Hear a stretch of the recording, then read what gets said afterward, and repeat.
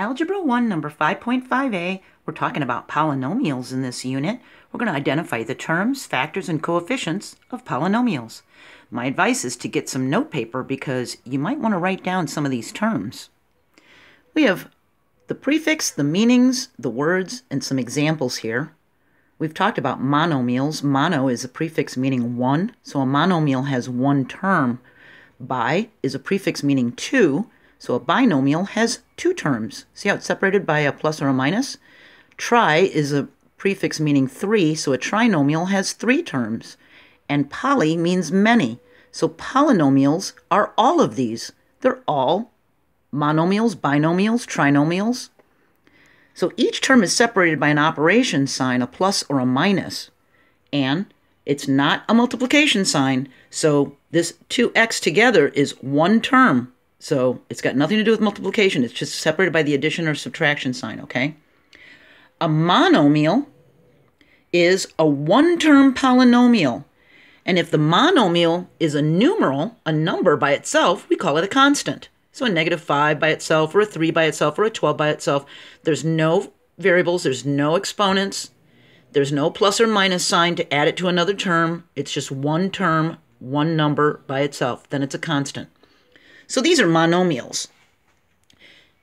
4x to the third power is a monomial, and negative half xy is a monomial. They're just one term. But here's monomial constants. See how they're just a number? Now, a coefficient, that's a number that's usually found in front of a variable. And we've talked about this in 7th and 8th grade. But in a polynomial, it could also be a coefficient if it's just a number. So we've got 4x to the second power, and we've got negative x to the second power, and we've got x to the second power. Well, when there's no number in front of the variable, we know there's an invisible 1 there. That's our identity property.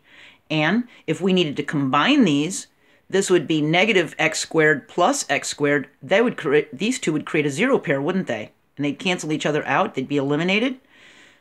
And a fraction can be a coefficient in front of a variable, see?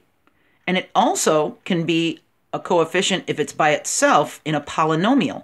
So whether it's a fraction or an improper fraction, it can be a coefficient, okay? So let's take a look at these. These are the coefficients of a polynomial. The 4 in front of the 8 to the third power, this 3, and that 3 is even a coefficient because it's in a polynomial. And this 2 is a coefficient. And in front of this plus x squared, there's an invisible 1 coefficient.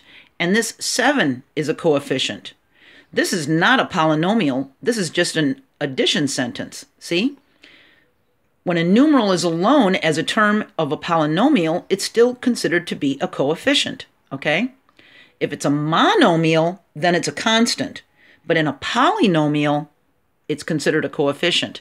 So each term contains any combination of coefficients which are negative or positive, variables that are negative or positive, but exponents have to be positive, okay? Because remember, a negative exponent is a fraction, okay? And we'll get into this a little bit more, but for right now, I just want you to be able to identify the coefficients of a polynomial, okay? It's all these big whole-looking numbers, see? So a polynomial in one variable, sorry about my sunshine, it's a really beautiful day outside. A polynomial in one variable has one variable, see, x. It's the same variable x. It's in a couple different terms, that's okay, but it's only got one variable x. A polynomial in two variables can have an x and a y, or an a and a b, or a p and a q, two different variables.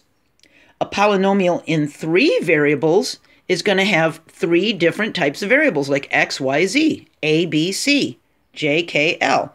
Three different variables. Now, don't accidentally confuse a term with a factor, okay? This negative 5x to the third power is one term.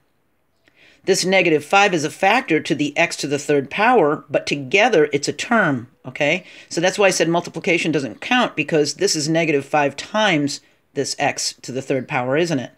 So altogether, it's one term. It's going to be separated by a plus or a minus sign. So this is a trinomial. We got a term here, a term here, and a term here. See?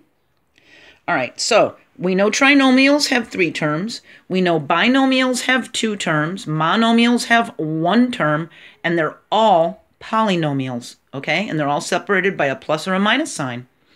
All right, we're going to talk about combining like terms in the next video, 5.5b. I hope this was helpful. I hope you're doing okay on this beautiful day. Bye.